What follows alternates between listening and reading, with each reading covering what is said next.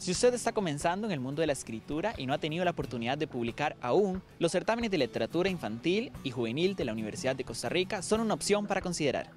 La editorial de la Universidad de Costa Rica eh, periódicamente abre un espacio para que todos los autores y autoras noveles puedan presentar eh, obras que potencialmente este, puedan ser publicables por la editorial de la Universidad de Costa Rica.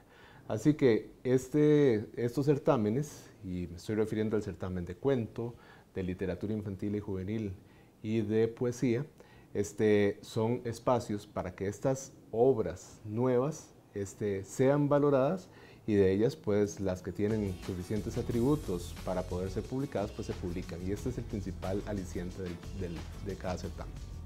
Es importante que los interesados lean detenidamente todos los requisitos de esta convocatoria, ya que se han presentado casos en que algunas propuestas no cumplen con los requerimientos mínimos. Uno de los más importantes es que sean autores que nunca han publicado. Esto para dar oportunidad a aquellos que andan en busca de comenzar en el mundo de la escritura.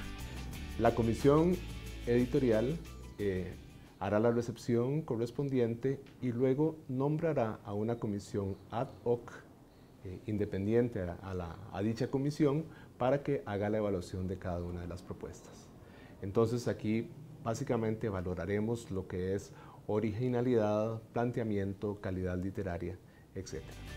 Los requisitos y toda la información sobre la convocatoria se encuentran disponibles en la página editorial.ucr.ac.cr.